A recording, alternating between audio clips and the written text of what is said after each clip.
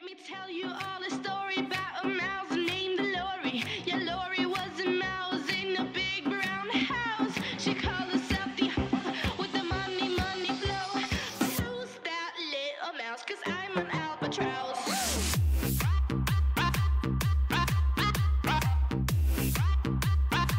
I'm an albatraoz.